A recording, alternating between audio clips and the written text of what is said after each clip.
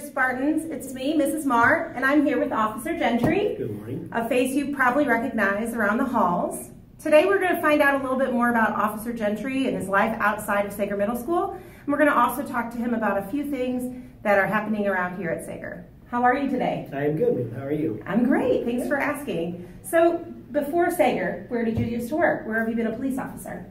Before Saeger, I started my career at St. Charles County Parks, and from there I went to Warren County Sheriff's Department. I worked there for a few years, and then I moved to the University of Missouri St. Louis and uh, worked there many years.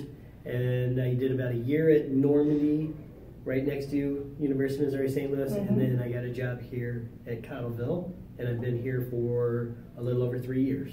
Well, we're really happy to have you here at. Saeger. So, and it's awesome to have someone with that much experience here. Thanks. What's the best thing about your job?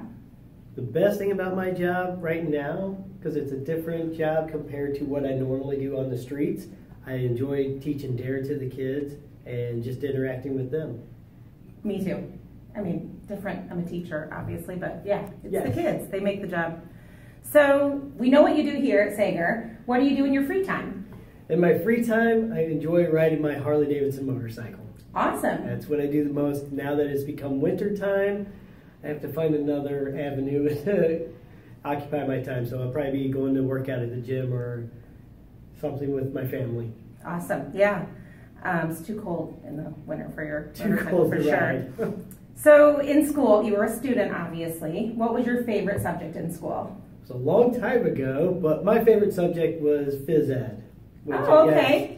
Now there's different parts of that. Phys ed could be either PE or another Health, yeah. health. So Mhm. I enjoyed the physical aspects of running around, playing, wrestling, doing stuff like that. Are you a sports guy? Are you a sports fan? I am a sports fan, but my sport, my main sport is mixed martial arts. Oh, I like watching the UFC. Wow, that's actually that is actually very interesting because we're going to talk a little bit more about that kind of stuff later in our interview. Okay.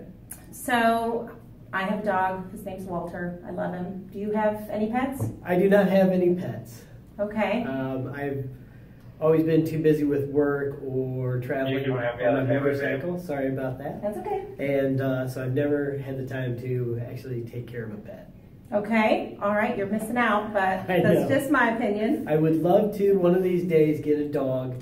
Um, I've already got a German Shepherd breed in mind, but Yeah. until then, I'm just waiting. German Shepherds are the the breed of the police dogs, right? A lot of them are, yes. They're they're from Germany or other uh, Austrian uh, shepherds, so they're the best at defense dogs and at drug sniffing. So one of these days, I will get one of them. It sounds like it'd be a good match for you. So, okay, so say a student's having a hard time during the day and they need to find you, where where would they find you?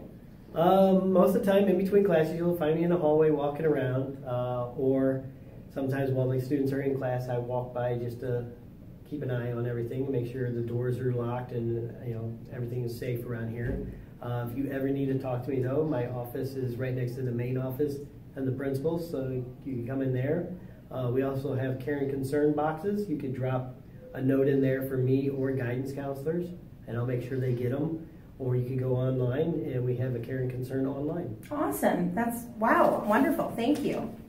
Okay, so um, now that we know a little bit more about you, I want to talk about something that is happening here at school, and that is a problem with physical aggression. Yes, ma'am. Um, so um, that seems like a pretty serious problem. Is when somebody says physical aggression, do they mean like fistfights and slamming kids up against the wall? it or- could be fist fights, but uh, I know there's a game that goes around called necking, where Oh. you go by and slap somebody on the back of their neck. So, and then there's just physical altercations of bumping into each other, giving the shoulder and stuff like that. Any unwanted touching. So don't a lot of kids do that stuff just joking though? Yes, it could be joking, but somebody could be having a bad day and you go and play a joke on them, like the necking thing, and, and they take it more offensively than they would any other time. They may be friends even, Mm-hmm. and they get into a scuffle or a fight because of a joking around nature. Well, that makes sense then. So even if you don't, even if you're not trying to start a fight, you could accidentally start a fight by Just kidding around and joking. Interesting. Okay, so um, what's the qu- consequences? What happens to a student who gets in a fight at school? Uh, it depends on the severity. Usually, I, the principals and I will talk about it, and they usually keep it at school, and they Mhm. get disciplined through the school system, detention, in-school suspension, out-of-school suspension. But if it's severe enough, they could go with me to juvenile detention center. Wow.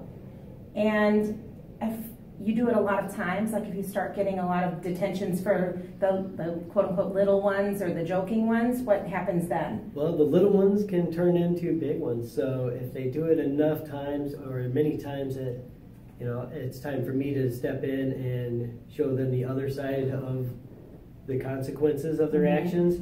They could go to the juvenile detention center. Wow, okay. Well, um, certainly there's ways students can avoid a physical altercation. You know, you said earlier that, you know, maybe somebody's just one person's joking around and the other person's having a really bad day. What if the person having a really bad day feels tempted to fight? What should they do to keep themselves from starting a fight or from getting in trouble? My suggestion is they tell the person to stop and then they walk away. And then they go find a trusted adult. Myself, you as a teacher, Mhm. guidance counselor, principal, and let them know the situation.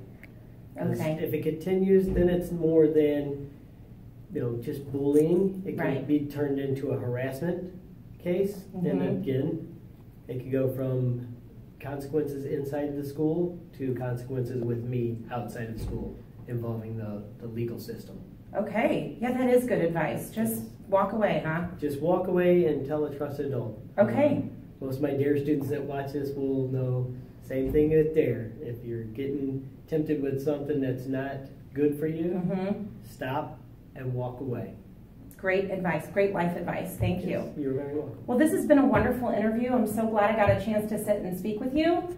So, folks, thanks for tuning in today. Remember, if you need Officer Gentry for anything, you can just drop a note in the care and concern box or stop by his office or find him in the hallways. So, Thank you. thank you for your time. Have a good weekend. You too. Hi, guys.